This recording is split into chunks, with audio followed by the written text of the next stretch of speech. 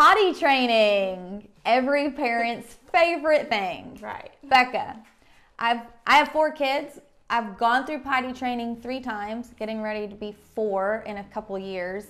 What age should parents start potty training?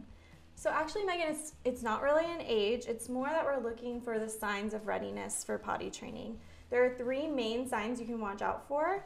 You want to see them staying dry for about two hours during the day. You want to see them indicating to you, hey, I'm wet, I need to be changed. Okay. And you want them to have the physical skills to be able to get to the toilet and start pulling their pants down and up. So readiness, not a specific age. That's right. Some parents want to start way too early. And in the end, it takes their kids longer to train. It adds stress around going to the bathroom. And the kids are going to develop a fear and have even a harder time training. I totally get it. My daughter was easier to train than my son, but once he was ready, it was way less stressful for me. Right. Once they're ready, it's a lot easier to guide them and you can get it done a lot quicker. Awesome. Thanks, Becca.